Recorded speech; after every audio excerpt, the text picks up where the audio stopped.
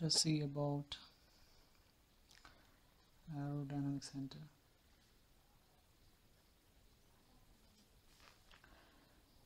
So it is a point at which moment is independent of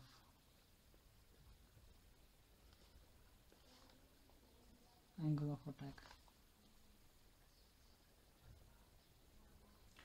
hereafter I'm going to mention moment as m and angle of attack as AOA let us take the front part of an aerofoil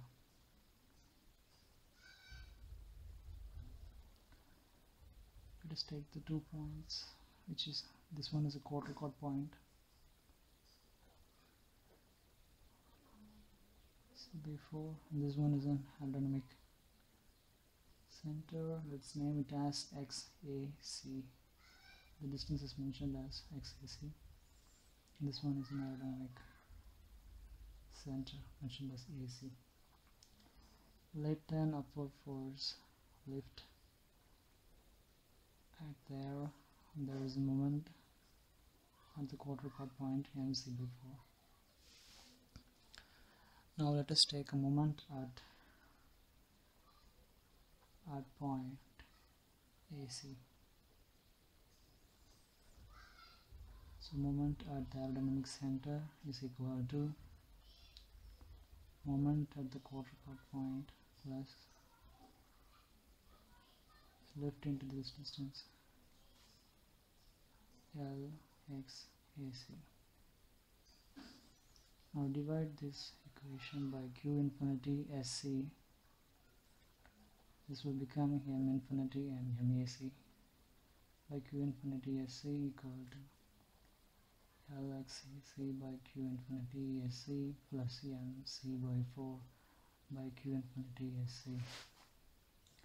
This term can be written as coefficient of moment of the aerodynamic center which is equal to CL XAC divided by C plus this is CMC by 4.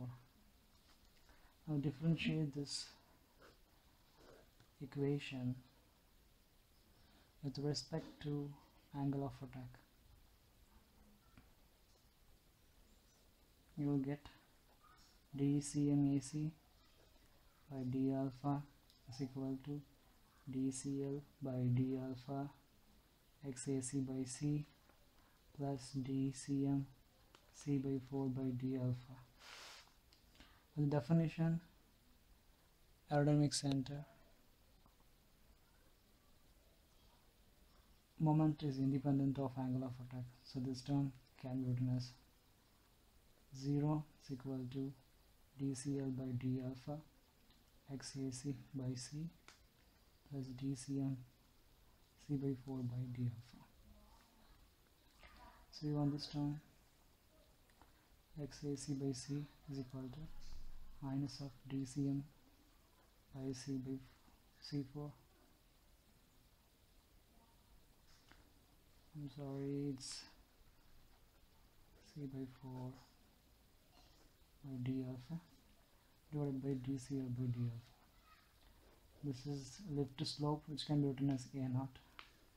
This is a moment slope which can be written as m naught equal to minus m naught by a naught so aerodynamic center can be a fixed point if the lift slope and uh, moment slope are, are constants